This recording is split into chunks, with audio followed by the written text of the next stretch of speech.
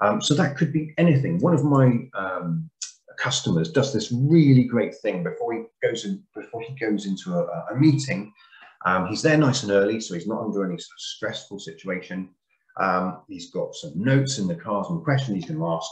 Um, and then a few minutes before he's due to, due to go into the meeting, he'll crank up the stereo in his car and he'll listen to some of his favorite music and it'll just lift him. And then he'll feel more positive and then he's more likely to influence that meeting and, and deal with um, challenges more, more positively. So um, we need those kinds of um, tactics um, in order to improve our morale. Whatever works for you uh, is, is going to be good.